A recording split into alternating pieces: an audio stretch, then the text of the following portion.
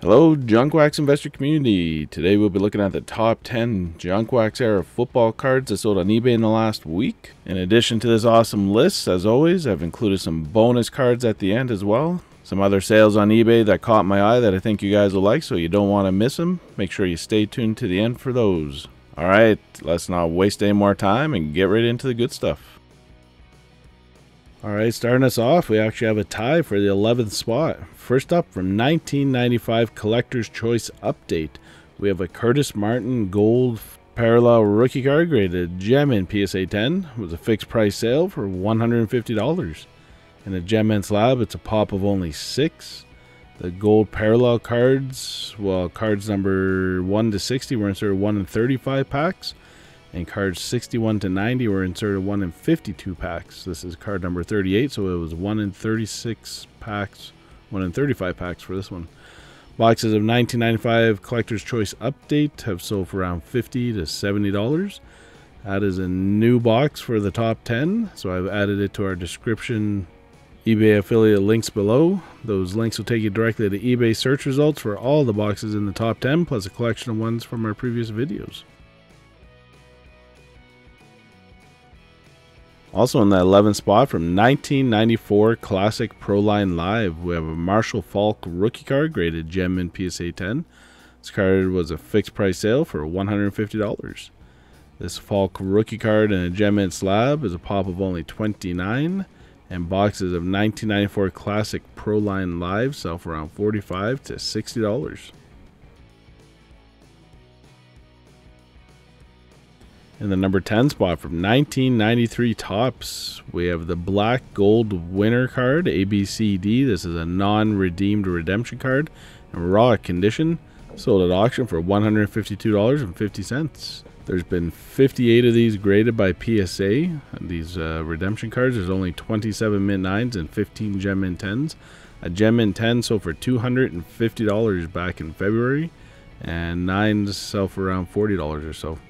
The top, the Topps black gold cards, their individual inserts were inserted both Series 1 and Series 2. There's 22 in each series, and they were inserted rate of 1 in 72 packs.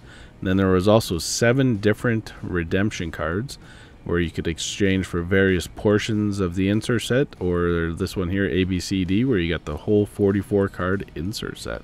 And if it was redeemed, above where it says winner, it'll say certified. So this one is a non redeemed version. Boxes of 1993 Topps sell for around 35 to $50. In the number 9 spot from 1990 Pro Set, we have an Emmitt Smith rookie card graded gem in PSA 10. This card sold at auction for $154.39. It's found in Series 2 boxes of 1990 Pro Set, and it has a pop of 708 in a gem mint slab. And those boxes have recently sold for around 10 to $25. In the number 8 spot from 1991 Proline Portraits, we have a Junior Seau autograph card, which is authenticated by PSA DNA. It was a fixed price sale for $159.99. For 91 Proline Portraits, the autographs, it's estimated they were inserted one in every three boxes, and those boxes have recently sold for around 20 to $30. In the number 7 spot from 1994 Topps Finest, we have an Emmitt Smith Refractor graded near mint mint PSA 8. It was a fixed price sale for $199. And the near mint mint 8 slab is a pop of 24. There are 71 graded higher with the highest being 10 gem and 10s. The refractors average 2 per box, and boxes of 94 Finest sell for around 200 to $225. In the number six spot from 1989 Score Supplemental, we have a Bo Jackson second year card graded gem in PSA 10. This card sold at auction for $211. And a gem in slab is a pop of 524 and these 1989 Score Supplemental sets can be found for around under 10 bucks up to $20 or so. In the number 5 spot from 1993 Fleer Ultra with a Michael Strahan rookie card graded gem in PSA 10. This card sold at auction for $256.50. This exact card sold for $331 in July of 2021, so down a bit from last year. And it's a pop of 137 in a gem mint slab. Boxes of 1993 Fleer Ultra sell for around 60 to $80. In the number 4 spot from 1991 Topps Stadium Club, we have a Brett Favre rookie card graded gem mint PSA 10. This card sold at auction for $260. And a gem mint slab is a pop of 1938 and boxes of 1991 Topps Stadium Club sell for around 50 to $70. Alright, time to see what we have in the top three. But before we do, just a quick reminder if you need any hobby supplies, check out BCW Supplies. There's a link in the description box below. Use the code JUNKWAX10 and save 10% on your order.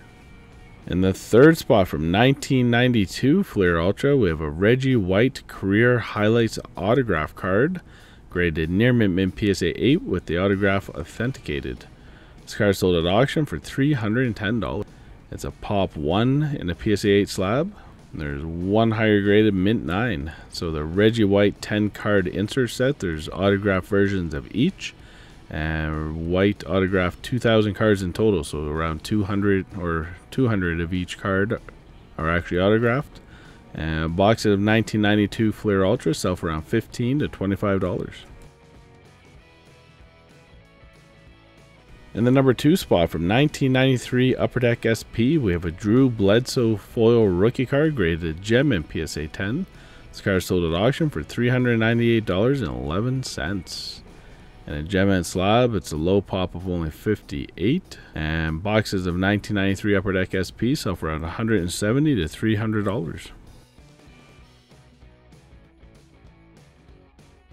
all right and top of the list this week in the number one spot from 1987 Topps american slash uk mini we have a jerry rice graded gem in psa 10 has a fixed price sale for $455. This card in a gem mint slab is a pop of only 16. So this was an 88 card set issued in the UK. And those sets have recently sold for around 55 to $75. Lots of Hall of Famers and stars in there. Super, super low pops. I've added that to the list of eBay search results in the description box below as well if you wanted to check into any of those.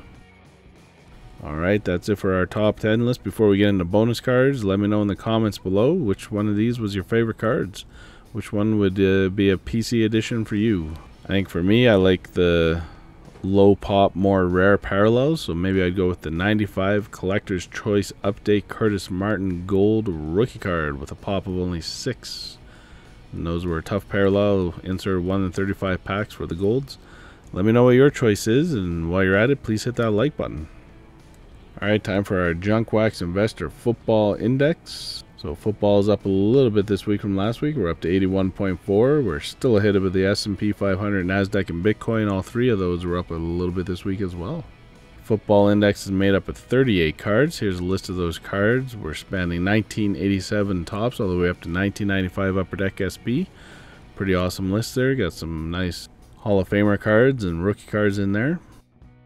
Summary for the week we only had six cards with an increase in sales price. 24 had no change, they were stagnant week over week, and 8 had a decrease in sales price.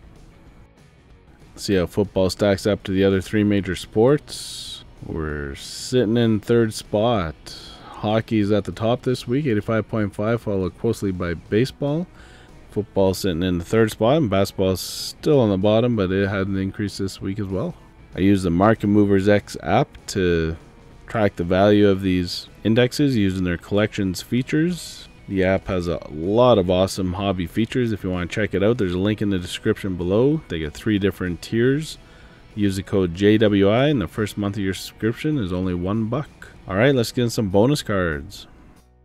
From 1995 Classic Pro line, we have a Derrick Brooks rookie card silver printer's proof parallel which is out of 175 in raw condition so for $46.54 so this is a 400 card parallel set.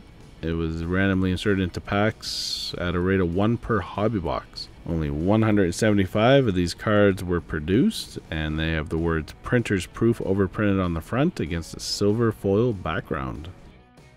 From 1990 Panini stickers, we have a Jerry Rice and Sterling Sharpe sticker graded near Mint Mint PSA 8, and it was a fixed price sale for $49. It's a low pop of only 2, and a PSA 8 slab, and there's only one higher graded Gem in 10. From 1990 Fleer Update, we have a Leroy Butler rookie card graded Gem in PSA 10. This card sold at auction for $72.06 and a gem and slab, it's a pop of only 60. From 1995 Collector's Edge, we have a Dan Marino lot. This is the 22 carat par parallel, and these are all serial numbered to 500, and you get a lot of 23 of them in raw condition, sold at auction for $31.22. So under two bucks a card. So yeah, I can't go wrong with that. These 22 carat parallels that were pack pulled are serial numbered to only 500. From 1996 Action Packed, we have the Barry Sanders Pewter Metal Proof card in raw condition, sold at auction for $32. So randomly inserted into packs are at a rate of 1 in 192 hobby and retail packs and 1 in 288 magazine packs. those are the odds for the redemption cards and that you could send in and you get the Sculptor's Proof Pewter Metal card as a redemption. Unfortunately, they expired in November of 1996. From 1989 Topps, we have the Jerry Rice 1000 Yard Club insert graded gem in PSA 10. This card sold at auction for $67. In a gem and slab, it's a low pop of only 45, and the 1000 Yard Club glossy inserts were inserted one per pack. From 1990 Topps, we have a Lawrence Taylor base card graded gem in BGS 9.5. That was a fixed price sale for $109.97. It's a pop of only one in a gem BGS slab. There's none graded higher. Subgrades for this was 9.5 for corners, edges, and surface, and a 9 for centering. Gem PSA 10s for comparison are a pop of only 79. They typically sell for around 35 or $40. From 1994 Fleer, we have a Troy Aikman Provisions insert graded Mint PSA 9. There's a fixed price sale for $30. That's a pop one in a mint slab, and there's only two higher graded gem mint tens. So the bro, so the provisions for 94 doesn't give any insertion ratios that I could look, or that I could find, but it was a nine card standard size set, randomly inserted into packs. When placed together, they form a colorful puzzle.